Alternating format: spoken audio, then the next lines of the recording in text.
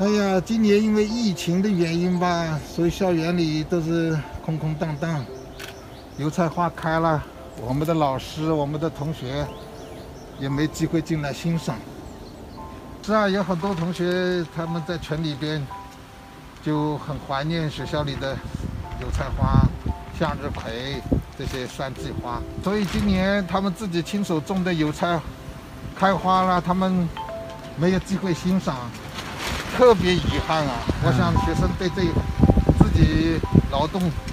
获得的这样一种成果会特别感兴趣，所以我要把照片拍起来，发到我们的群里，发到网上，让我们的学生，让我们的老师有机会这个欣赏到校园的这份美。